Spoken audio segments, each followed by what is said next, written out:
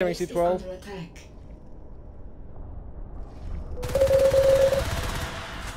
dead, lurk. Almost dead lurk in C12, because I had a mat.